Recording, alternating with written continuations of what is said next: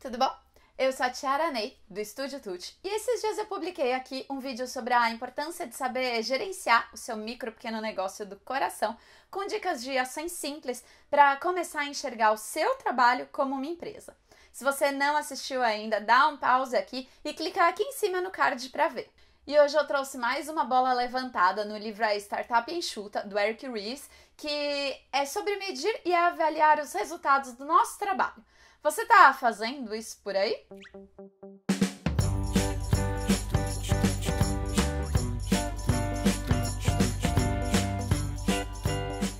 A maioria de nós começou a trabalhar com craft ou artesanato por hobby, eu sei. E aí as pessoas foram comprando, foram fazendo encomendas e quando a gente viu, tinha dinheiro entrando, não é?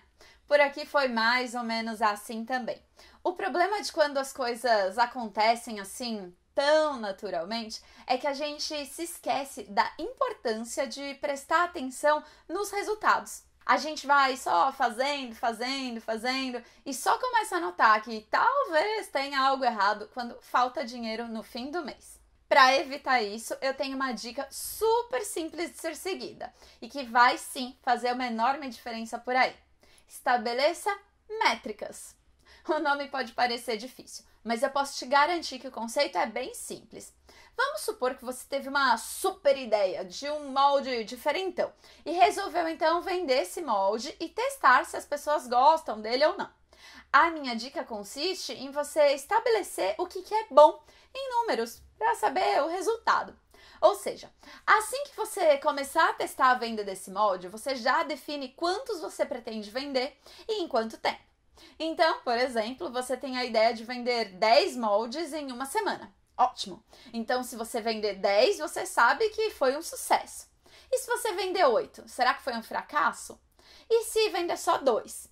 Então, o ideal é que, além de colocar quantos você quer que venda e em quanto tempo, você também já pense em outras situações possíveis.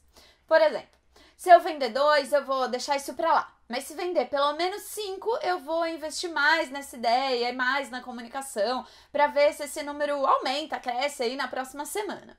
Se eu vender 8, eu vou criar mais um molde e colocar a venda também.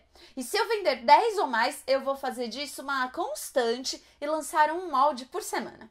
Esse foi um exemplo com moldes, mas é importante que você tenha métricas bem detalhadas e bem definidas para tudo que você vai fazer na sua empresa, porque essa é a melhor maneira de avaliar quando que é a hora de seguir em frente com uma ideia, de investir mais nela e quando é melhor desistir, deixar para lá. E lembre sempre, sempre, sempre que mesmo que você lance um produto e não venda nada, absolutamente nenhum, ainda assim você testou uma possibilidade e aprendeu com ela. Quando a gente avalia os nossos resultados, a gente diminui as chances de se frustrar com os próprios resultados, porque a gente sabe que aquilo realmente pode acontecer e já sabe exatamente o que fazer em cada um dos cenários possíveis. E se esses temas de gestão são assuntos que te interessam, escreve aqui embaixo nos comentários sobre o que mais que você quer que eu fale por aqui.